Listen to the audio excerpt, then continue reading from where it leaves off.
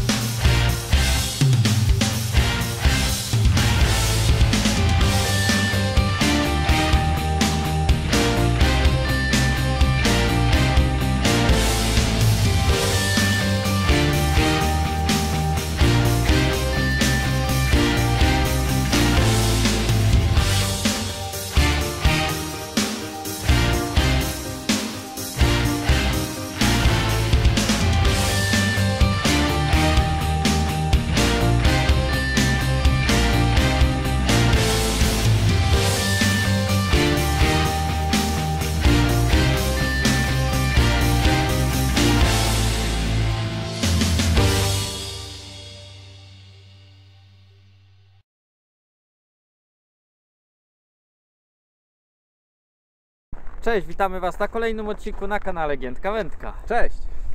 Pozbieraliśmy się ponownie na słynny Rędzin. Jak widzicie, most za nami, który jest charakterystyczny dla tego miejsca. Pojawił się lód na wodzie. Rano jak wyjeżdżałem z domu było minus 16. Prawdopodobnie to nasz ostatni wypad w tym roku na wędkowanie. No może nie ostatni, ale na pewno ostatni jeśli chodzi o tą miejscówkę. Z tego względu, że mamy 27 grudnia i jest drugi dzień cholernie niskiego mrozu. Czy wysokiego się mówi? Wysokiego mrozu. Wysokiego mrozu. Na daną chwilę jest e, minus 10, e, troszeczkę kra nam przeszkadza, ale na szczęście e, ona sobie płynie spokojnie. Teraz akurat mamy takie okienko, żeby, można, żeby móc troszeczkę materiału nagrać, bo nie możemy akurat rzucać koszyczkami, bo nam strasznie ściąga, dlatego zaraz zaczniemy działać. No to jest prawda. Lód się pojawił, pływa jakieś takie połacie lodu pływają, ale widać, że zostaje przepchany w kierunku zapory, a w naszą stronę pojawia się piękna, czysta tafla wody, więc na pewno uda się coś powędkować. Mimo, że jest zimno, ma być dzisiaj słonecznie, więc na pewno będzie to fajny, ciekawy dzień nad wodą, byle żeby jeszcze nam tylko dopisały ryby. My już rozłożeni, czekaliśmy tylko na to, żeby zrobiło się troszeczkę jasno, żeby z Wami porozmawiać, a nagrywanie po ciemku wcale nie jest fajne, bo obraz jest kiepski, więc my już wędki mamy zarzucone od jakieś pół godziny, ale jeszcze żadnego brania nie było i mamy te wędki dość blisko brzegu, ale jak tylko zniknie ten, ten, ten lód, taki pierwszy, delikatny, co łapie nam zestawy i przyciąga w prawą stronę, przeklipsujemy się co najmniej na 40 i 60 metr, gdzie mam nadzieję dobierzemy się do jakichś ryb. Tak, dokładnie. I pamiętajcie, że jak jest zimno, a nie wieje, to jest ciepło. No, I na to liczymy w, tej, w tym czasie. Bierzemy się za łapanie.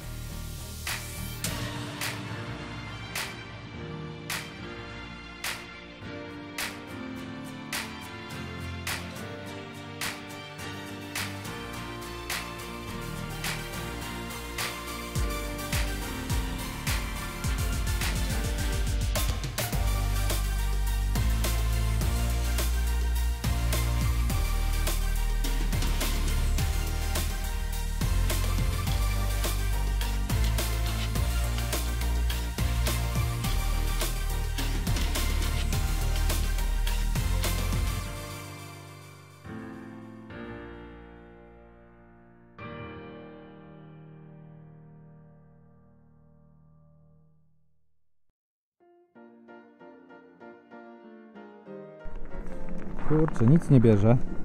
Co by tutaj zrobić? Nikogo nie ma. Płynie kra. Kamil, Pokazać nudno wam mi. sztuczkę?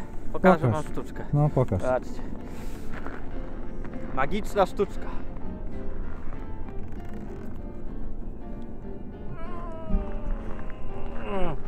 Tada!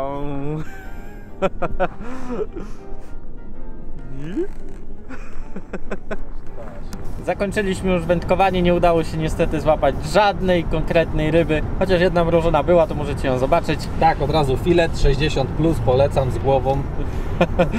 A ja jadę dograć Wam jeszcze materiał 31 grudnia. Bo ma być ocieplenie, z tego co, co patrzyłem na pogodę po 10 stopni przez 3 dni, to może na Odmuchowie, który już jest otwarty, yy, powędkować się z wału, tam gdzie żeś- żeśmy jeździli w tamtym roku. Było zimowisko, mnóstwo ryb żeśmy nałapali, nawet karpia 6-kilowego udało się tam trafić, którego też Wam mogę teraz pokazać. Wypuszczaj, bo ręce zamarzają. Tak zimno. Słuchajcie, rybka wraca do wody, jest przepiękny karp. Od razu bonus na samym początku wędkowania dzisiejszego. O. Płyń. No i nie zakończamy tego filmu, tylko pożegnamy się ewentualnie z Michałem, który ze mną nie będzie wędkował 31 grudnia z tego względu, że on musi iść do pracy i ja mam wolne. To co Michał? Narka. No, na razie. Trzymajcie się, ale pamiętajcie, subik i łapka kurczę w górę, bo jak nie to się nie zobaczymy. Na razicho. a my się widzimy na Odmuchowie. I jak widzicie, zmieniła się miejscówka. Miało być Odmuchów, obiecaliśmy Wam, ale niestety na Odmuchowie jest lód. Z tego względu wybraliśmy się na rzekę Nysę w miejscowości Nysa koło pierwszego jazu. Dzisiaj 10 stopni, nie minus 16 jak na Rędzinie. A jak możecie zobaczyć, jest ze mną Przemek. Cześć Wam wszystkim. Już się, jak Kamil powiedział, już się rozkładamy. Powoli do przodu. Ciepło może dzisiaj będzie. Wiaterek letki jest. I przygotowuję już Przemek właśnie zanętę, zaraz będziemy mieszać. Jak możecie zobaczyć, wiadro tutaj na dole jest. A dzisiejszym odcinku, jak nie będzie ryb, no to posiedzimy sobie, rozpalimy grilla, bo mamy ochotę zrobić ostatniego grilla właśnie 31 grudnia. No i oczywiście będziemy żegnać stary rok, posiedzimy aż się trochę ściemni i wystrzelimy fajerwerki, więc coś będzie się działo podczas tego odcinka. Zapraszamy Was więc do kontynuacji i oglądania naszej ostatniej zasiadki w roku 2021. Zapraszamy. A wy pewnie będziecie mieli kaca dzisiaj, bo ten film pojawi się pierwszego. Sklaliście się czy nie na Sylwestra? Przyznać się.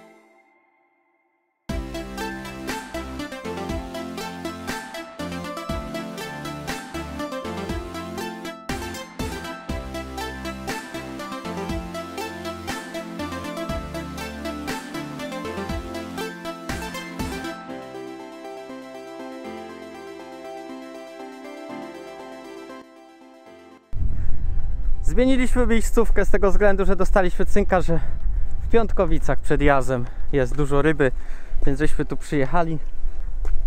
Kruszymy sobie lód, który jest tutaj przy brzegu. Widzieliśmy spławy ryb. Wiecie co? Widzieliśmy spławy ryb. To oznacza, że może uda nam się coś złapać. Bierzemy się za rozkładanie i wędkowanie. Przygotowałem sobie listę kołowrotków, które chciałbym kupić w tym roku, w styczniu. Chcę, żebyście mi doradzili, jaki kołowrotek z tych, których wybrałem, będzie najlepszy. To jest w granicy między 200 a 300 zł. Przy okazji pilnujemy będzie, żeby ryba nie wciągnęła do wody. To tak. Pierwszy kołowrotek, jaki przygotowałem, to jest kołowrotek Flagman Sherman Profeder 4000. A ma być to kołowrotek, nie powiedziałem wam do jakiej metody, do klasyka. I chcę nim osiągać około 60 do 80 metrów podczas wyrzutu. Będzie to przy wędce 3,90. Na sklepie, w którym będę zamawiał ten kołowrotek, jest opis tego kołowrotka. Ma wagę około 380 gram, przełożenie 4,6 do 1, ilość łożysk, łożysk 5 plus 1, Pojemność szpuli 0,25 żyłki 110, 0,30 90, 0,35 70. Ja chcę tam nawinąć plecionkę, plecionkę w granicach 0,8-0,6, więc myślę, że około 150 metrów powinno spokojnie wejść. Jaki jest opis dodatkowy? Sherman Pro, seria kołowrotków dedykowanych do federa charakteryzujących się świetną relacją ceny do jakości. Nisko profilowana aluminiowa szpula sprzyja wykonaniu dalekich rzutów dla najbardziej wymagających. Kołowrotki flagmana Sherman Pro ma Michał. Bardziej mi się wydają, że one by były dobre do metody, a nie do klasyka, z tego względu, że hamulec ma najpierw przystopowanie, a później e, płynnie pracuje. Nie chciałbym, żeby by podczas zacięcia dużej ryby on od razu zaczął płynnie pracować, a nie trzeba było czekać na taki delikatny przeskok. Musiałem zrobić sobie ściągę z tego względu, żeby wszystko zapamiętać i coś Wam ciekawego na ten temat powiedzieć, co udało mi się wyczytać. Kolejny kołowrotek, jaki mnie będzie interesował, jest to kołowrotek Daiwa Ninja Match Feather LT 4000C. E, 257 zł i szpula główna i zapasowa. Rozmiar, wielkość 4000 to już Wam mówiłem, waga 285 gram. Jest lżejszy od kołowrotka flagmana Sherman Pro około 100 gram. Wychodzi na to. 95 gram dokładnie przełożenie 5, 2, 1 więc wydaje mi się, że jest tutaj lepsze przełożenie ilość łożysk 4 E, w porównaniu do poprzedniego tam jest 5 plus 1, więc ma więcej łożysk E, Pojemność szpuli 0,28 150 metrów. E, Widzicie, to jest rozmiar e, 4000 i ten drugi kołowrotek też jest rozmiar 4000, a mimo tego pojemność szpuli jest większa w kołowrotku Daiwa Ninja Match Feather. Co ciekawego tutaj możemy e, wyczytać e, z opisu tego kołowrotka, w każdym bądź razie opisami się tak do końca nie przejmuję, dlatego to Wy zadecydujecie jaki kołowrotek kupię, w komentarzach macie pisać. W każdym bądź razie do tego Daiwa Ninja Match Feather jestem chyba najbardziej przekonany, ale mam jeszcze w zapasie jakieś inne, o których też porozmawiamy. Nowy Ninja Match Feather LT przekonuje nie tylko walorami wizualnymi, ale i swoim technicznym zaawansowaniem. Szczególnie warta wspomnienia jest jego jedwabiście płynna, równa praca. To jest bardzo ważne przy klasyku i przy cienkich przyponach. Poprzez zintegrowanie koncepcji LT inżynierom Daiwa udało się znacząco zmniejszyć masę kołowrotka. Innowacyjna przekładnia Touch Digger, którą dotąd wbudowana była jedynie w znacznie droższych modelach, zapewnia serii Ninja LT lepsze przenoszenie siły i jeszcze płynniejszą pracę niż jej poprzednikom. Idealnie, gdy musimy ściągnąć zestaw z ciężkim koszem zanętowym z dużej odległości. Zintegrowany system hamowania ETT gwarantuje wyższą siłę hamowania do 12 kg. No pomyślcie sobie taki mały kołowrotek, a siła hamowania do 12 kg, więc do metody też by się nadawał ten kołowrot. Oraz natychmiastowe akty aktywowanie ustawionej siły hamowania bez początkowego oporu. I właśnie o tym mówiłem. Ten początkowy opór, który jest przy flagmanie Sherman Pro i wielu innych kołowrotkach. Tutaj mamy od razu płynne wysuwanie się y, żyłki z kołowrotka, jeśli jest większy opór. Płytkie i półpłytkie szpule wersji Match and Feather przeznaczone są do połowu maczowego oraz metodą z użyciem cienkich żyłek głównych. Aluminiowa szpula Long ABS zapewnia ekstra duże odległości wyrzutowe. No właśnie te odległości wyrzutowe też by mi się przydały z tego względu, żeby osiągać między 60 a 80 metrem. Więc to jest mój faworyt na chwilę obecną. Przechodzimy dalej. Była chwila przerwy z tego względu, że przyjechał tutaj pewien pan, którego pozdrawiamy serdecznie na naszym filmie i ucięliśmy sobie pogawędkę, bo tylko się obróciłem. Kawil, Kawil ogląda wasze filmy. No i tak właśnie poznaje się nowych, ciekawych ludzi, którzy nam opowiedzieli też o tym y, miejscu parę ciekawych rzeczy, gdzie wędkować, gdzie można spodziewać się jakiejkolwiek ryby, ale to zostawimy oczywiście dla siebie. Myślę, że jak uda nam się coś złapać, to będziecie widzieli to na filmie. Y, Teraz przechodzimy do kolejnego kołowrotka. Jest to kołowrotek Flagman Mascot 4000, 264 zł i 26 groszy. E, Rozmiar i wielkość 4000, e, szpula główna zapasowa, jedna aluminiowa, zapasowej brak. Waga 381 gram, łożysk 5 plus 1, pojemność szpuli 0,18 150 metrów, 0,20 120 metrów. Jaki mamy tutaj opis tego kołowrotka? Mocny kołowrotek marki Flagman do łowienia na feder. Mniejsza waga kołowrotka została uzyskana dzięki zastosowaniu specjalnego tworzywa w korpusie i rotorze. Szpula posiada dwa klipsy, metalowy oraz gumowy, który pozwala odklipować zestaw w przypadku holu większej ryby. Guma odchyla się, ryba dalej może pracować na hamulcu kołowrotka, ale ma dwa klipsy, fajna sprawa, że jeden jest gumowy, łatwo się go wypina yy, w razie właśnie polowania większej ryby. Kołowrotek Flagman Masco 4000. Yy, wszystko zależy od Was, jaki kupię kołowrotek. Więc to Wy w komentarzach pamiętajcie, że musicie napisać, im więcej będzie na przykład kołowrotek Flagman Masco 4000 więcej komentarzy to wezmę ten kołowrotek, a później Wam po prostu pokażę jak on wygląda, jak on pracuje na rybach, jak będziemy nagrywać jakiś materiał. Lecimy dalej. Yy, Kolejny kołowrotek to też Flagman jest to Mantary Pro Feder 4000. Pojemność szpuli 0,18 290 metrów, 0,20 240, 0,25 150. Szpula e, główna i zapasowa, jedna i druga jest aluminiowa, 289 zł 76 groszy. Wielkość 4000. Ekskluzywny kołowrotek do łowienia federem. Niskoprofilowa aluminiowa szpula oraz wysokiej jakości ułożenie żyłki za pomocą ulepszonego mechanizmu dają możliwość swobodnego rzutu na duże odległości. Co jest tutaj w tym przypadku dla nas ważne. Dla wygody ustalania odległości szpula wyposażona jest w dwa klipsy pomalowane na inny kolor. Przedni hamulec zapewnia dokładność regulacji, wysoką niezawodność. Mocna przekładnia gwarantuje znaczne zasoby mocy. Też jest bardzo ciekawy. Myślę, że to by był na drugim miejscu ten kołowrotek. On jest najdroższy chyba z tej naszej serii. Yy, Do tego bym musiał dobrać jakąś plecionkę. Więc słuchajcie, jeśli macie już przetestowane jakieś plecionki, to mi powiedzcie jakie. W sumie ewentualnie jak tutaj jeszcze dorzucicie jakieś inne nazwy, które stosujecie Wam się sprawdzają i nie plączą się jak diabli. Bo na przykład e, mam tutaj jedną przy sobie plecionkę nawiniętą, ale ona jest, to jest e, plecionka nie jest ośmiosklotowa, e, to jest chyba 0,12 z tego względu, że nie miałem żadnej, a poprzednia mi się porywała na zaczepach, już malutko jej było i strasznie mi się przy federze plącze i robią się supełki. To by było chyba na tyle. Dobrze, że sobie przygotowałem tą ściągę, mogłem Wam coś na ten temat powiedzieć.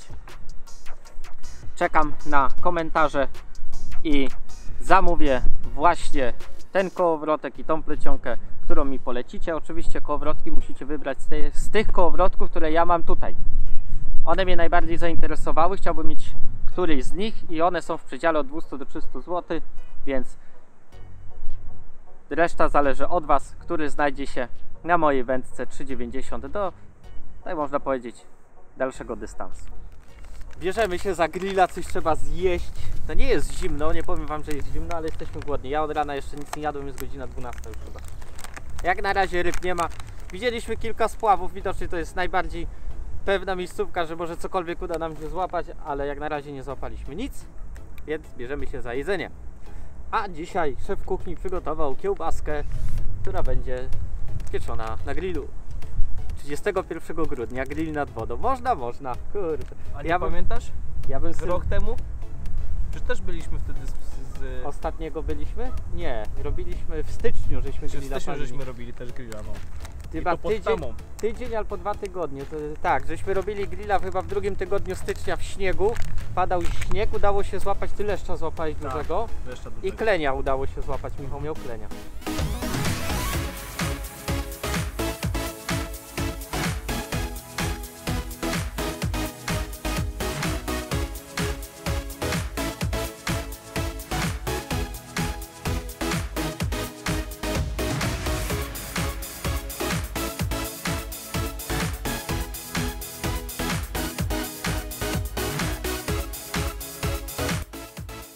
Kończymy dzisiaj wędkowanie. Niestety nie udało nam się żadnej ryby złapać. Takim akcentem kończymy ten rok 2021 i wchodzimy w 2022 rok, gdzie składamy Wam z całego teamu Giętka Wędka szczęśliwego nowego roku Oby były takie duże ryby, żeby poza kamery wychodziły. I co? I najwięcej sukcesów. A na koniec zrobimy mały show fajerwerkami i tak się rozjeżdżamy do domu.